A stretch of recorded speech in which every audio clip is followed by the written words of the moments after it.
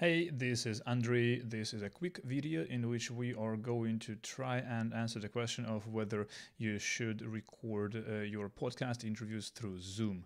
I have described everything uh, that I have uh, set up uh, for this video in the blog post that you will link to in the description of the video. But uh, to make long story short, I have turned on every possible setting on Zoom to make the sound as good as possible, and I am also recording on my my Rodecaster Pro interface uh, uh, locally.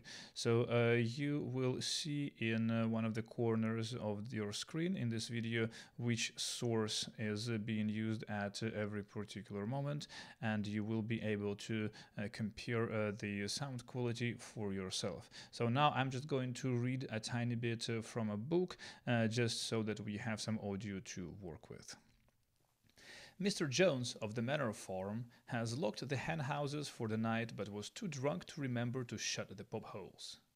With the ring of light from his lantern dancing from side to side, he lurched across the yard, kicked off his boots at the back door, drew himself a last glass of beer from the barrel in the scullery, and made his way up to bed, where, where Mrs. Jones was already snoring. As soon as the light in the bedroom went out, there was a stirring and a fluttering all through the farm buildings.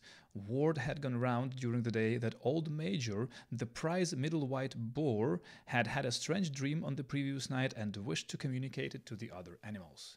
It had been agreed that they should all meet in the big barn as soon as Mr. Jones was safely out of the way. Old Major, so he was always called, though the name under which he had been exhibited was Willingdon Beauty, was so highly regarded on the farm that everyone was quite ready to lose an hour's sleep in order to hear what he had to say.